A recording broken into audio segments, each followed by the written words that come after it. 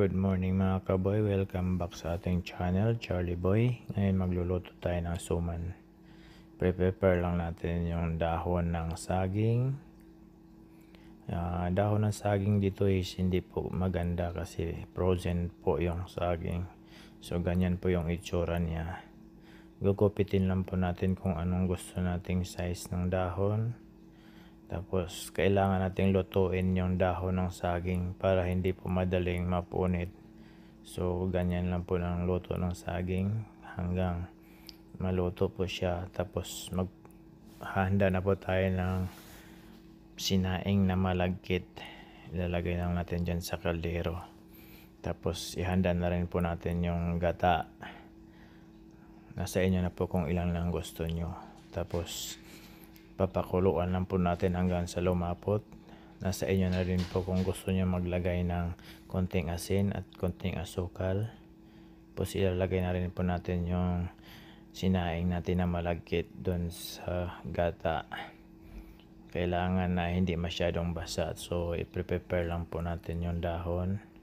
Dahon ng saging. Tapos lagyan na, na natin ng uh, malagkit ako dinadamihan ko ng malagkit kasi konti lang yung dahon na nagawa ko.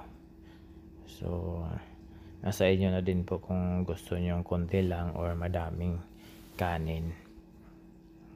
Kasi sa amin uh, kami kami lang din yung kakain ito so gusto, gusto ko na lang din malaki para konti lang yung magagawa ko kasi konti lang yung dahon. Ayan na.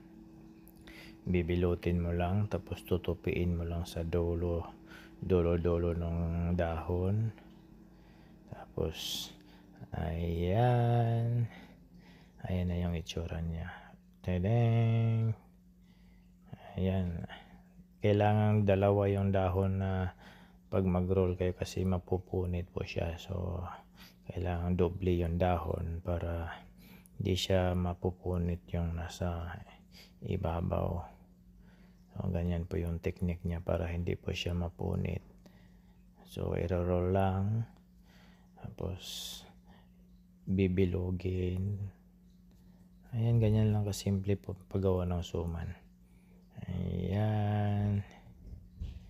Napakadali. Tutupiin sa dulo tapos uh, pagkatapos niyan, tataliin mo lang yung dulo-dulo niya para hindi po siya uh, bumuka pasabang niluluto nyo. Tapos ilalagay sa kaliro ng paganyan.